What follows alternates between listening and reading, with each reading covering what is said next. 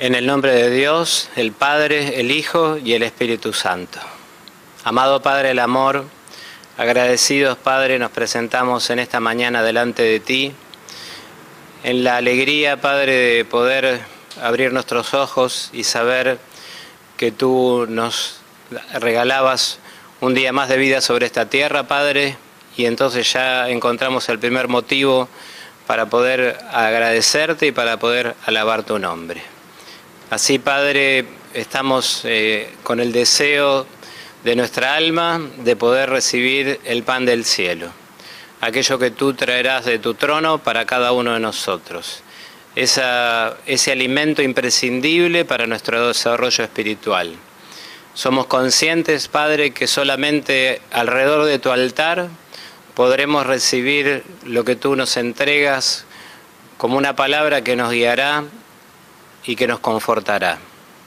Pedimos, Padre, que este altar pueda estar iluminado por la luz de tu Espíritu, por el Espíritu Santo. Esa luz que no enseguece, esa luz que nos muestra el camino a seguir, esa luz que es tan cálida, esa, esa luz que muchas veces se detiene para esperarnos, para que podamos seguir de cerca tus pasos Así, Señor, conoces el corazón de cada uno de tus hijos. Queremos especialmente rogar por todos aquellos que reciben estas transmisiones porque están imposibilitados de llegar a tu casa físicamente. Quisiéramos orar de manera especial por todos ellos, para que si está en tu voluntad, prontamente puedan estar alrededor de tu altar.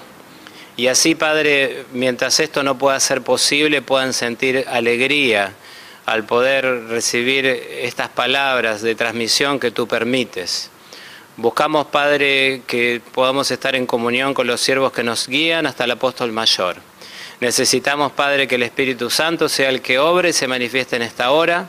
No quisiéramos aquí escuchar una palabra que no sea la que tú traigas. Por eso puedas santificar a tus siervos, Padre, y permítenos también comprender y sentir tu palabra más allá de lo que sea expresado verbalmente desde el altar. Así, Padre, en todo lo que concierte, concierne a la parte técnica, también, Padre, tú permitas que pueda hacer todo esto conforme a tu voluntad y pueda entonces llegar al propósito para el cual estamos presentes aquí en este día. Permítenos vivir una hora de paz, una hora en el cielo. Te lo pedimos esto en el nombre de Jesús. Amén. Amén.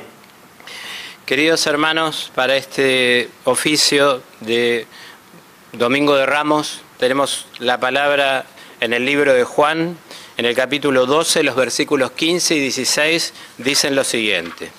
No temas, hija de Sión, he aquí tu rey viene, montado sobre un pollino de asna. Estas cosas no las entendieron sus discípulos al principio, pero cuando Jesús fue glorificado, entonces se acordaron de que estas cosas estaban escritas acerca de él y de que se las habían hecho.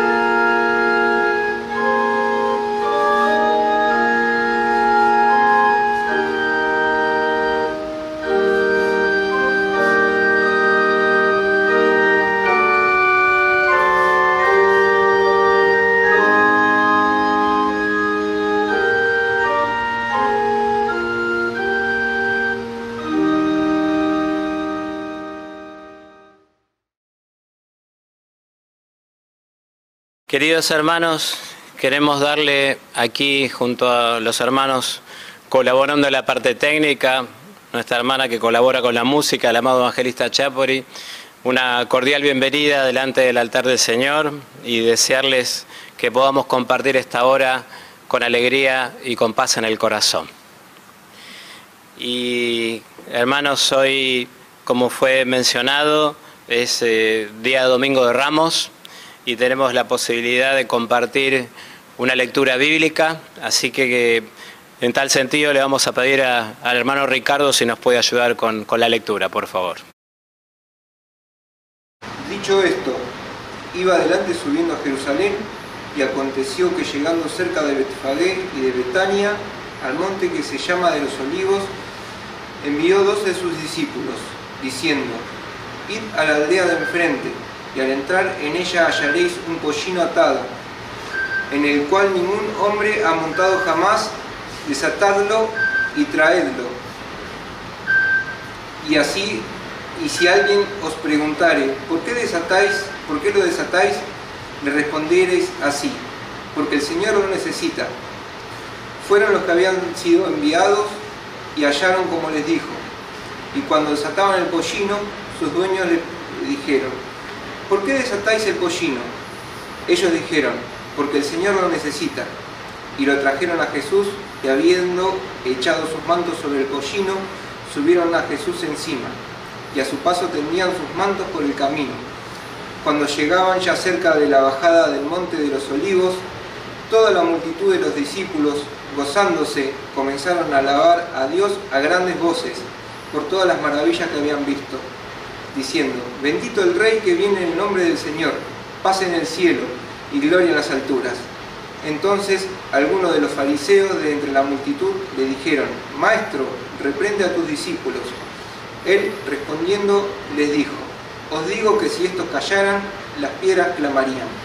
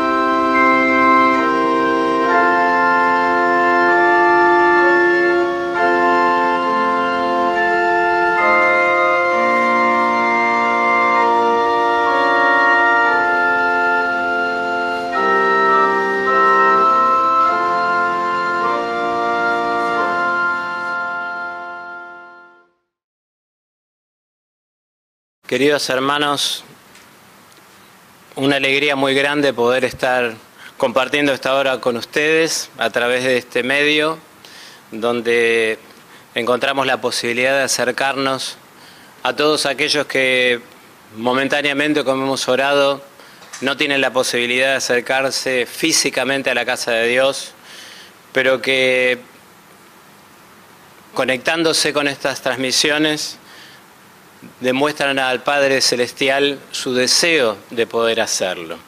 Y Dios siempre mira las intenciones y los deseos del corazón por encima de nuestros actos. Así que que esto lo puedan sentir también como un sentimiento de tranquilidad y paz para vuestras almas. Nosotros estamos muy felices de poder acercarnos a ustedes en este día con el deseo, con la pretensión de que podamos sentir todos la presencia de Dios en el altar, pero especialmente ustedes, aquellos que están un poquito imposibilitados de, acercarse a la casa de Dios. Que así pueda ser, que puedan vivir una fiesta en donde estén recibiendo la palabra. Y como fue dicho, hoy conmemoramos el Domingo de Ramos y mm, no es esto para nosotros un, día donde recordamos un momento histórico, porque no, tomamos así lo que viene de Dios.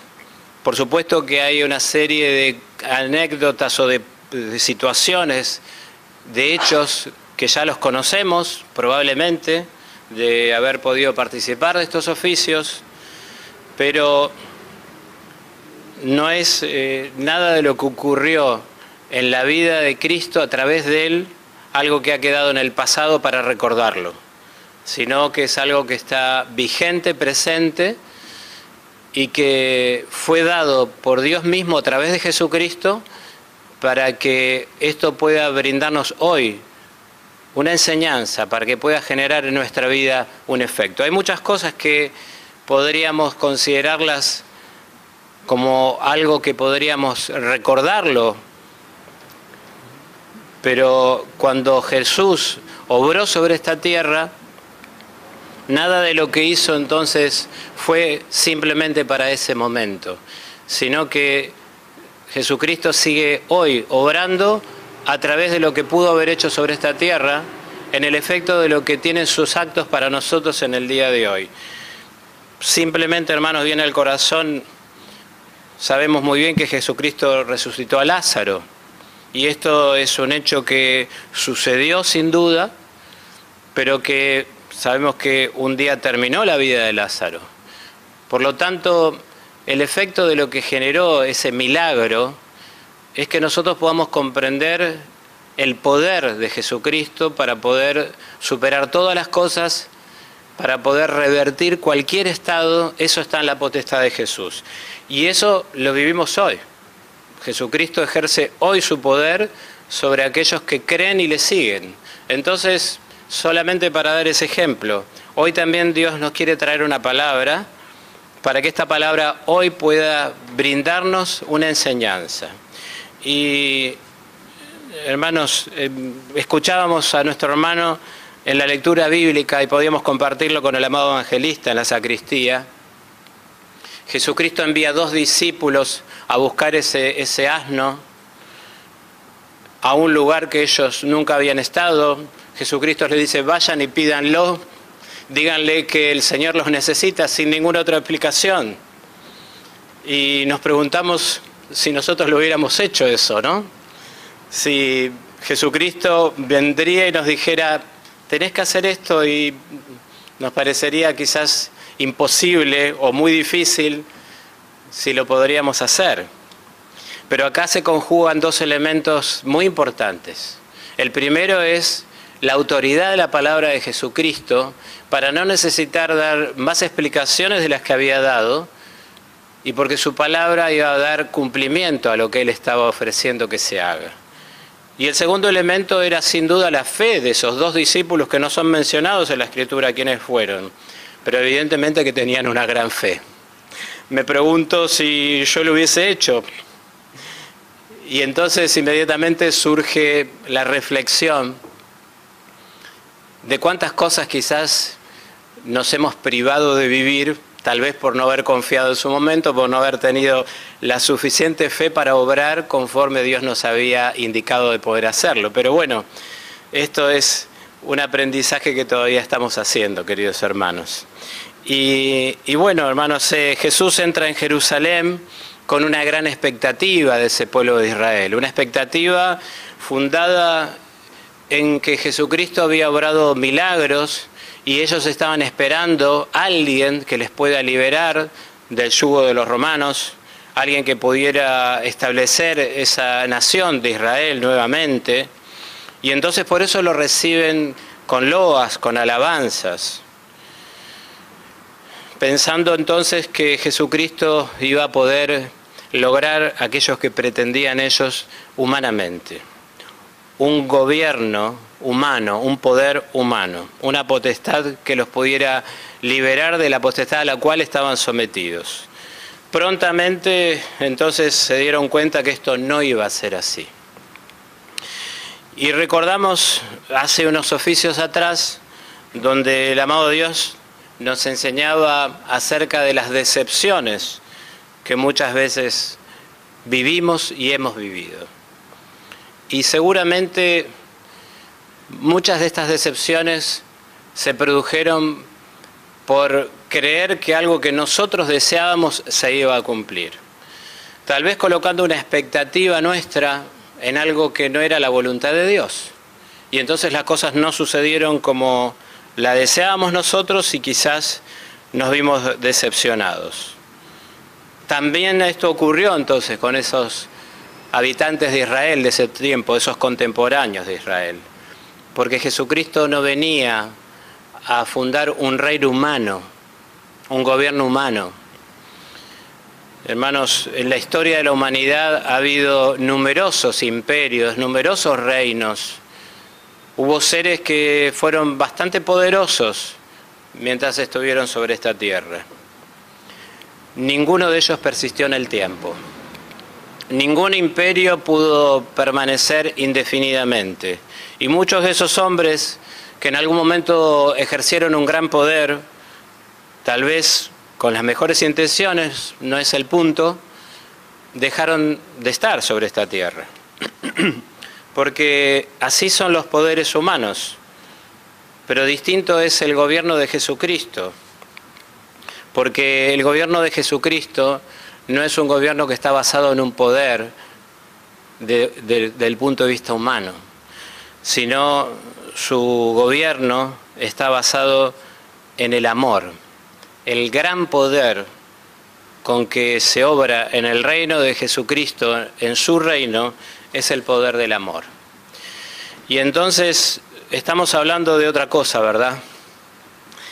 Y a veces quisiéramos que Jesucristo nos libre de alguna de las situaciones que vivimos. Muchas de ellas nos ha librado el amado Dios y así lo seguirá haciendo. Pero es algo muy superior a lo que nos llama Jesucristo.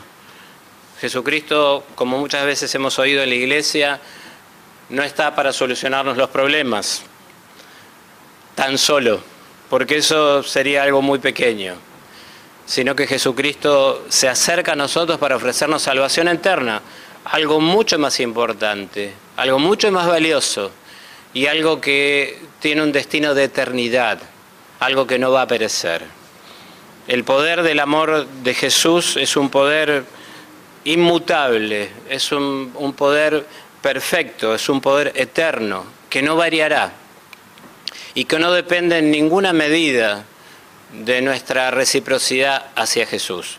Él nos amará inexplicablemente, de una manera que no la podemos entender, porque no es posible entender el amor divino en términos humanos, en lo que nosotros podemos asociar con nuestra vida natural. Y entonces en ese amor, por amor, por amor, Dios envía a Jesucristo a esta tierra, se hace carne en Jesús y por ese mismo amor entonces se sacrifica para que podamos ser salvos. Es un acto de amor hacia la humanidad, hacia cada uno de nosotros. Así lo queremos vivir el sacrificio de Jesús, como algo que es la máxima expresión del amor de Dios hacia nosotros. Jesucristo se hace carne y es sacrificado por nosotros, por, por nuestra salvación. Pero ese amor que se traduce en el sacrificio de Jesús es el que también nos permite a nosotros disfrutar de la gracia, porque esa gracia es la que a su vez a nosotros nos permite estar en comunión con Dios. Este es el ciclo maravilloso que Dios permite en nuestra vida. A través del amor, entonces Jesucristo se sacrifica. Ese amor es el que permite que nosotros podamos disfrutar de la gracia porque la gracia es lo que nos hace justos, la gracia es lo que nos justifica.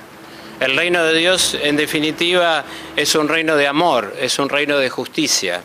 Y, hermanos, no podríamos por nosotros mismos alcanzar a ser justos delante de Dios. Por eso, ese acto de amor de Jesús es el que nos permite ser justificados, ser justos. Nuestras obras no serán nunca suficientes para esto.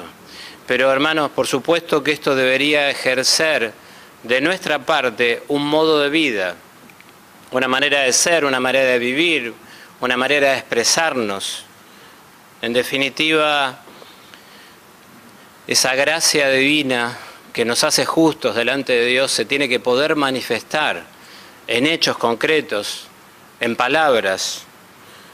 Y entonces, hermanos, inmediatamente pensamos en poder obrar con amor hacia nuestro prójimo por sobre todas las cosas, poder dedicarnos a nuestro prójimo, que es algo que necesita nuestro prójimo que le dediquemos entre tantas cosas carentes en este tiempo? Justamente el tiempo. Qué hermoso es que nosotros podamos dedicar el tiempo para poder ayudar a quien lo necesita.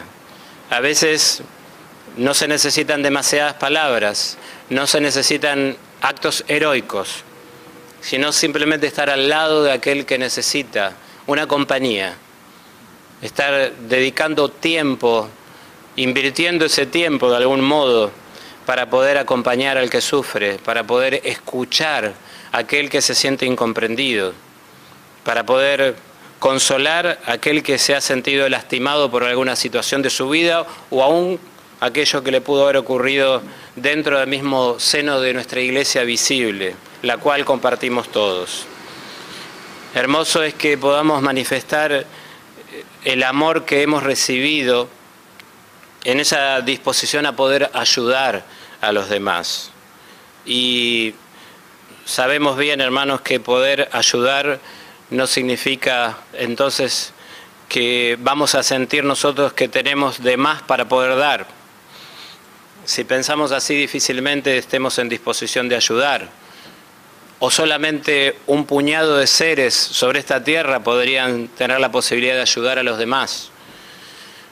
No vamos a ayudar desde aquello que nos sobra, sino de aquello de lo que Dios nos ha dado y Dios nos ha dado en abundancia para poder dar. Y sabemos muy bien, hermanos, porque lo hemos aprendido en la casa de Dios, que cuando estamos dando, Dios multiplica lo que nos ha dado en nuestro interior, nada se pierde.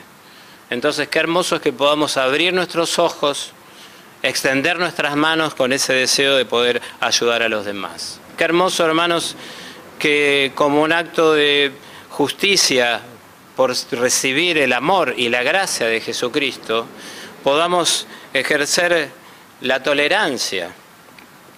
Muchas veces hay situaciones que nos parecen que son irreversibles. Muchas veces hay situaciones donde decimos, esta persona no va a cambiar más, porque una y otra vez quizás ha cometido un mismo acto. Y hermanos, gracias a Dios que Él nos mira sobre nosotros de ese modo. Por eso, que nunca nos cansemos de hacer el bien, como dice un texto bíblico. Que siempre haya el deseo de poder ayudar una vez más, de poder tolerar un poco más, que no creamos que todo lo que hicimos ya es suficiente, sino que siempre haya una fuerza renovada para poder tolerar, para poder intentar una reconciliación. Hermoso es que en esa tolerancia buscamos ser pacificadores. Nos tenemos que preguntar, ¿en qué medida yo soy un pacificador? ¿En qué medida yo puedo ejercer la unión para que dos posturas muchas veces contrapuestas puedan cambiar? ¿En qué medida entonces uno en el ámbito de su propia vida, de su familia, de su trabajo, de su comunidad, puede ser aquel que está siendo utilizado para poder unir? Eso también es sin duda poder ejercer ese amor que Jesucristo nos ha brindado, que nos ha dado. Hermanos, cuando este pueblo de Israel se vio defraudado porque sus expectativas eran humanas, porque sus expectativas eran otras sobre Jesucristo, inmediatamente pensaron que entonces aquello que deseaban no iba a ocurrir que ese plan que ellos pensaban que Dios tenía sobre ellos no iba a tener éxito. Pero hermanos, el plan de Dios se llevará a la terminación porque Dios mismo se ocupará de que esto sea así.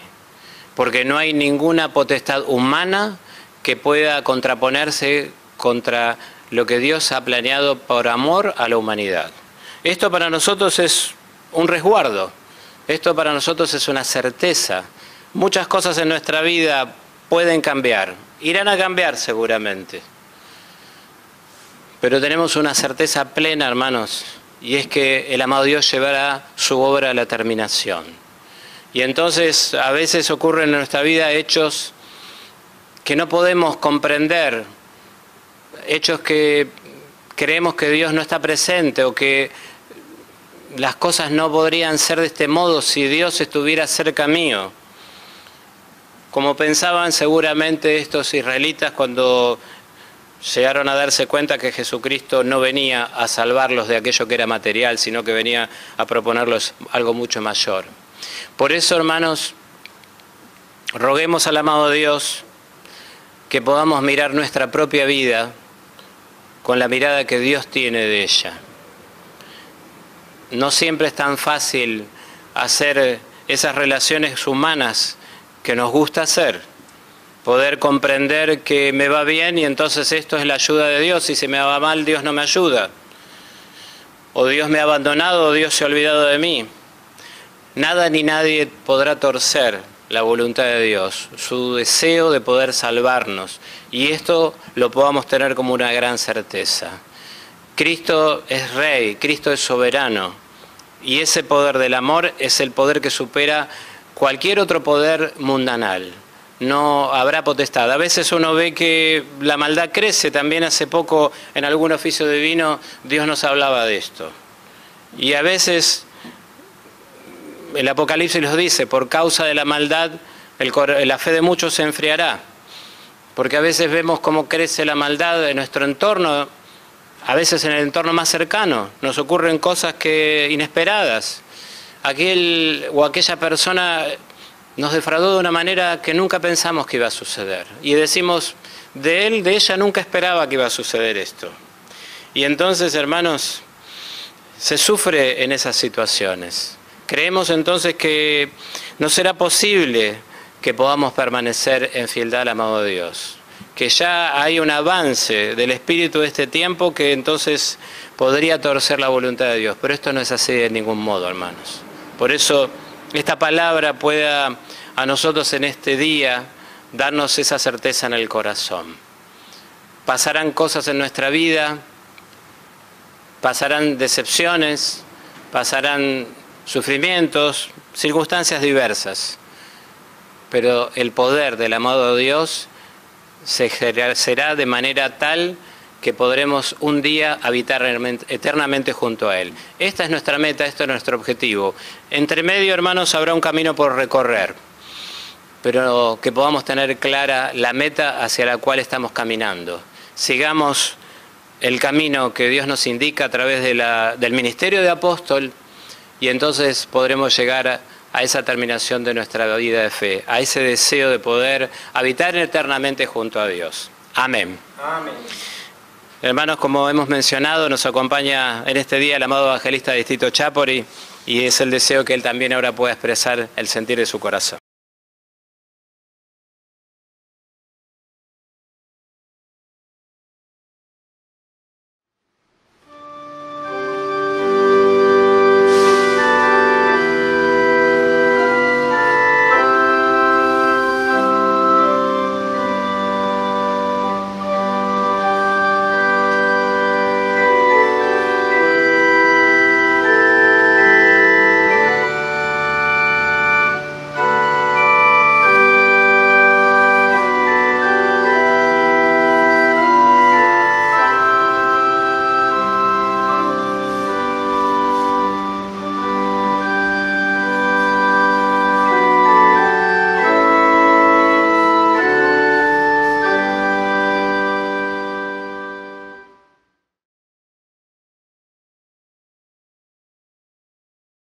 Amados hermanos y hermanas en el Señor,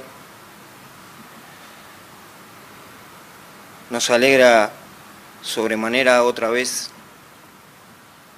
ocupar un lugar en la casa del Padre y disfrutar de lo que Él tiene otra vez para cada uno de nosotros. En esta mañana, otra vez recordando todo lo obrado por nuestro Señor Jesucristo y especialmente hoy en su entrada a Jerusalén. Así como fue expresado por el obispo tan hermosamente, esos dos discípulos que fueron a buscar también ese asno, se necesitaba también mucha fe para poder hacerlo y así lo hicieron. Y a nosotros también nos mueve la fe para que ahora podamos otra vez rodear el altar y disfrutar de lo que el Señor tiene para decirnos. Fue claro, hermanos, la palabra, el reino de Jesucristo, el reinado de Jesucristo, es un reinado espiritual. Pero también no quita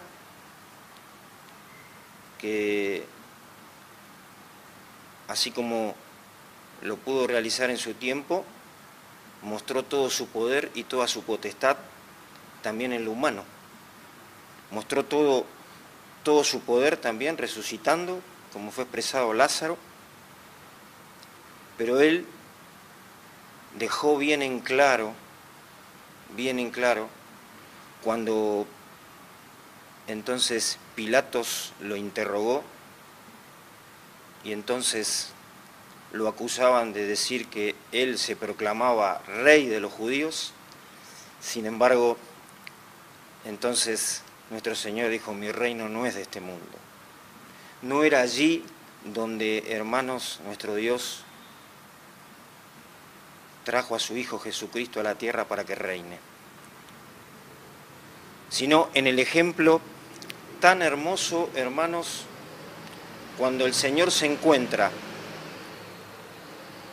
tiene un encuentro con un paralítico y en ese encuentro entonces el Señor le dice, tus pecados te son perdonados.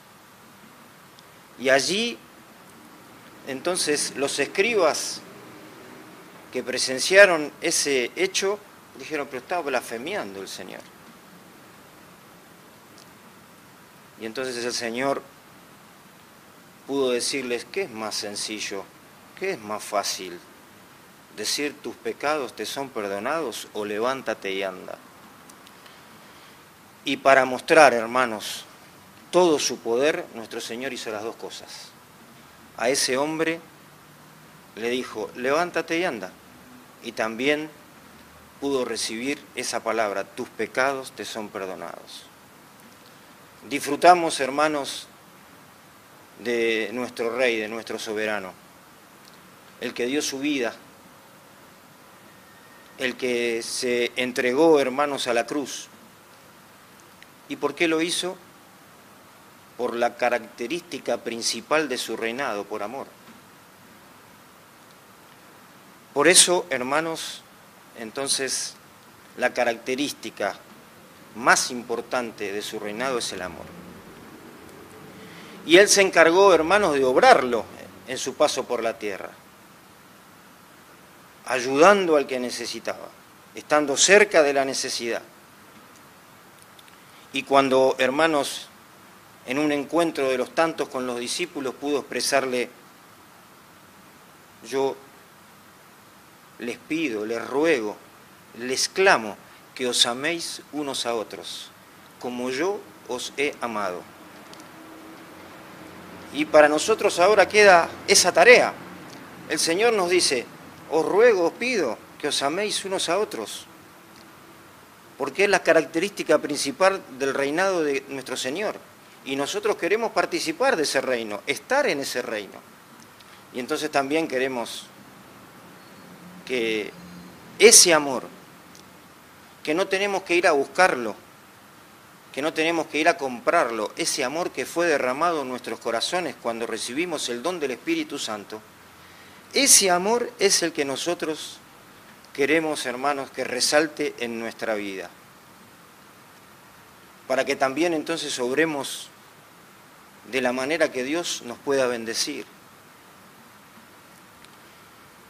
Y nuestro Señor, como el gran ejemplo, como hemos dicho, Él, ¿no es cierto?, expresó tan hermosamente, como el buen pastor que da la vida por la oveja. Él es el ejemplo, a Él queremos seguir. A Él queremos, hermanos, entonces mirar.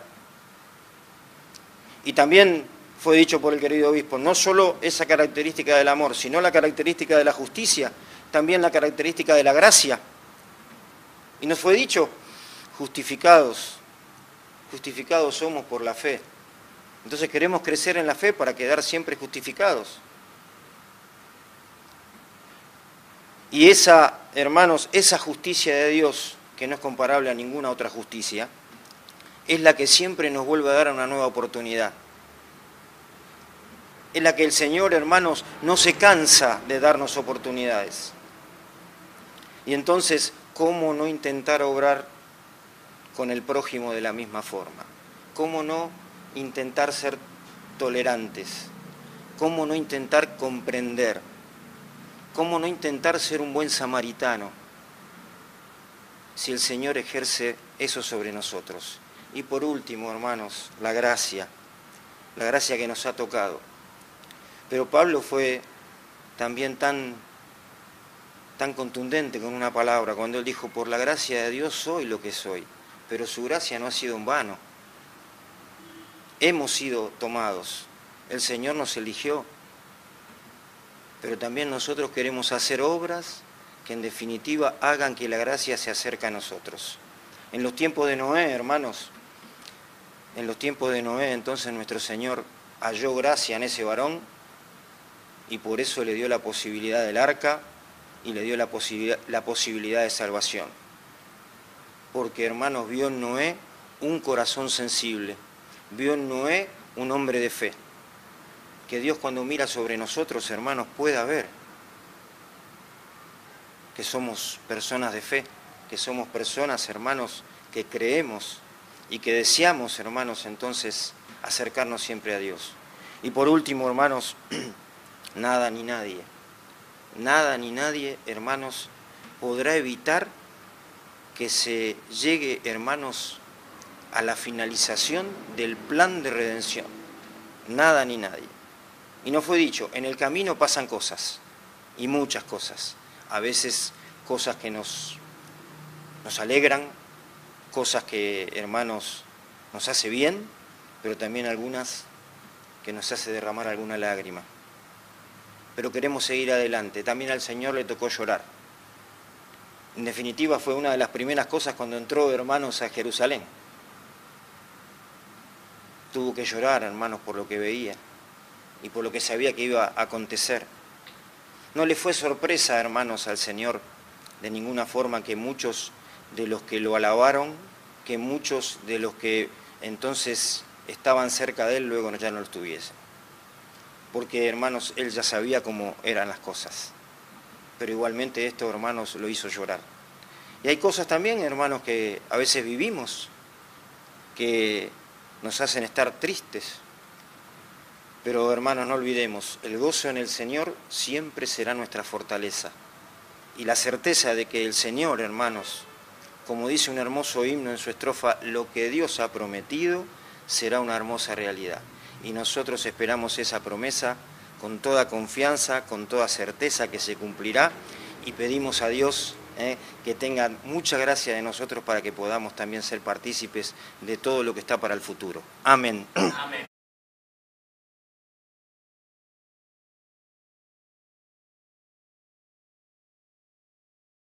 Recordaba la palabra que nos fue dada como un lema para este año por el apóstol mayor, servir y reinar con Cristo. Y en este oficio que Dios nos está hablando de, del reinado de Cristo, del modo que Jesucristo ejerce su reinado, nosotros fuimos escogidos por Dios, como fue dicho por el amado evangelista, para poder servir. Pero en general los reinados que ha habido sobre esta tierra se han ejercido con poder de un reino por sobre el otro. Nosotros hemos elegido que Jesucristo sea el rey de nuestra vida, hermanos. Esto también es una elección nuestra. Dios nos eligió y nosotros hemos dicho, heme aquí, sí, yo quiero que Jesús sea el que gobierne mi vida. Y entonces, hermanos, no estamos solos, no tenemos necesidad de recurrir a medios inseguros, no tenemos necesidad de creer que podremos sobrellevar las cosas con nuestra propia sabiduría, porque Jesucristo es el Rey de nuestra vida. Nuestra vida está entregada a sus manos y esto nos hace felices, hermanos. volvemos a decir, no sabemos nada de lo que va a suceder en un instante con nosotros, pero estamos seguros en Cristo. Él es el que tiene el poder del amor y nosotros hemos decidido que Él sea nuestro Rey. Hermanos, eh, llega el momento de orar y también en este instante entonces uno recuerda las oraciones de Jesús. Muchas de ellas están descritas en las Sagradas Escrituras. Esas oraciones profundas, íntimas, esos diálogos que él tenía con su Padre, que son conmovedores. Pero también hay una oración que él ha enseñado y es una oración plural, es una oración que hacemos en las comunidades y hoy nuevamente la vamos a hacer. Porque también hay un poder cuando una comunidad ora, y esto también eh, lo hemos aprendido en las Sagradas Escrituras. Cuando hay una comunidad que se une para orar, entonces esto tiene un poder especial para poder modificar hechos, para poder fortalecer a aquel que sufre. Entonces, hermanos, les invito ahora a que nos podamos poner de pie y orar juntos la oración del Padre nuestro. Amén. Padre nuestro que estás en los cielos, santificado sea tu nombre. Venga tu reino, hágase tu voluntad, como en el cielo, así también en la tierra. El pan nuestro de cada día, dánoslo hoy, y perdónanos nuestras deudas, como también nosotros perdonamos a nuestros deudores y no nos metas en tentación, mas líbranos del mal, porque tuyo es el reino y el poder y la gloria por todos los siglos. Amén.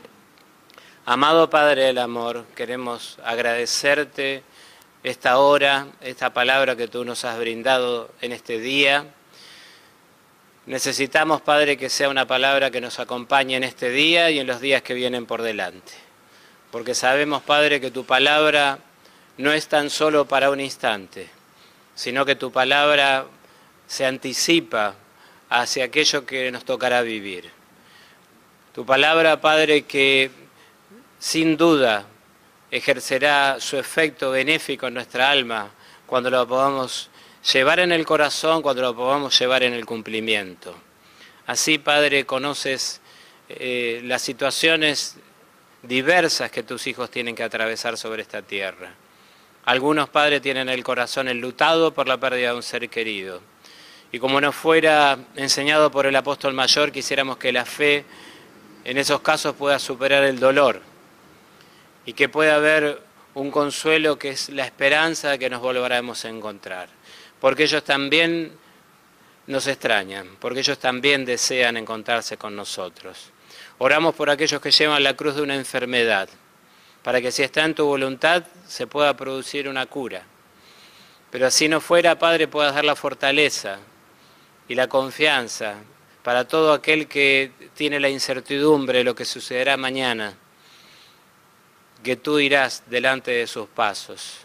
También esto pueda dar consuelo en aquellos que rodean a los enfermos. Oramos por nuestros abuelos, en especial por los que están en geriátricos, para que no se sientan desamparados ni solos. Oramos por la juventud para que pueda ser protagonista dentro de tu obra, para que pueda sentirse feliz, activa, escuchada, atendida. Oramos por los niños para que puedan crecer espiritualmente, para que los padres podamos ser esa guía espiritual para nuestros hijos, para enseñarles tu amor, para enseñarles tu presencia y ellos puedan en su corta edad sentir que tú los escuchas en sus oraciones. Así, Padre, por cada colaborador en tu casa, permite, Padre, que puedan surgir nuevas manos de colaboración. Hermanos y hermanos, siervos y siervas, deseosas de poder ofrendar su tiempo y sus dones para tu obra. Hermanos deseosos de, de agradecer colaborando. Así, Padre, oramos por cada ruego silencioso que se eleva entre tus hijos que escuchan este oficio, que puedan sentir, Padre, que esos ruegos llegan a ti. Así oramos por nuestros siervos de bendición hasta el apóstol mayor, por los siervos en descanso que nos has regalado. Y así, Padre, por cada situación que vive y preocupa el corazón de tus hijos. Por sobre todas las cosas, Padre, clamamos que envíes a Jesucristo a buscarnos. Ese es el mayor ruego, el mayor deseo, que una todo tu pueblo aquí en el más allá. Llévanos pronto a casa, acorta el tiempo. Lo pedimos esto en el nombre de Jesús. Amén. La gracia de nuestro Señor Jesucristo, el amor de Dios nuestro Padre y la comunión del Espíritu Santo sea con todos vosotros. Amén. Amén. Amén. Amén.